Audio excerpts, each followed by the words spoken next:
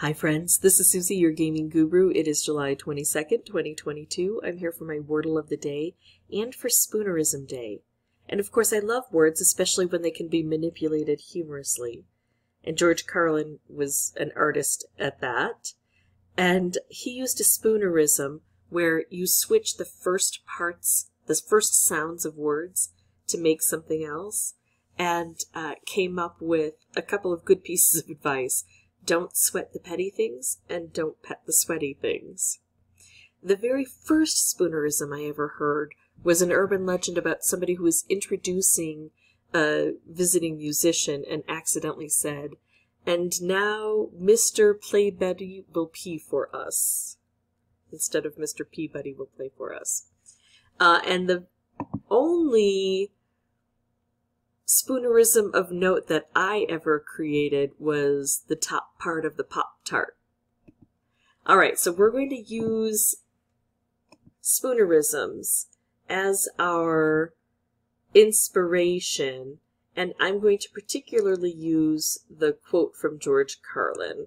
And so I'm going to use the word sweat because it's a nice five letter word. It's got great letters in it. Got some good vowels. Let's see what happens. Okay, the vowels were no use. All right, but we've got a T and we know there's an S here somewhere. So let's think about construction. First of all, we need new vowels. Uh, secondly, the S doesn't go there. It could go in the center, but I'm wondering if it's combined with the T.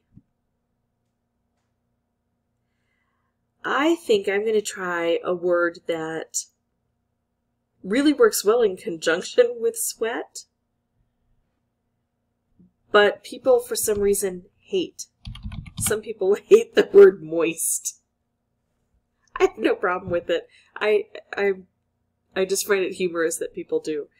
Um, yeah, let's go ahead and try this. I mean, it could be moist. I know that we're not going to get any additional information from the T, but maybe we'll get it on the second try.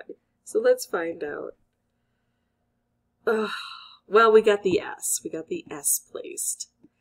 Oh, and we have excluded now two more vowels. So if we put a U here, it could be trust. It could be crust. It could be... That's all I can think of. What else could it be? I'm thinking it's going to be trust. Then again, I thought it was going to be moist. All right. Could it be anything else? I'm going to try trust. Is that awful to try that? What if it doesn't work? I'm going to be in big trouble. Alright, I'm going to try it anyway. I'm in a devil may care mode. Oh, oh. the only other vowel it could be. It's one of those, it has no normal vowel words. Trist. Wait, could it be anything other than this? I don't think I'm in trouble because I think that I, have narrowed it down to its only conclusion. There can't be anything else in there besides a Y, right? Nothing else works. That's the only other letter that could be a vowel. Let's go ahead and just pull the trigger on that. Yeah, okay. Phew. All right, that is it for me. If you have any questions or comments, please put those below. Tough one. No vowels. I didn't even think of the word tryst. I always think of like lymph or hymns. Mm, Trista's a good one. All right, that that may be problematic for some folks. If you have any questions or comments, put those below. And as always, thank you so much for watching. Bye-bye, and bye, Firepaw.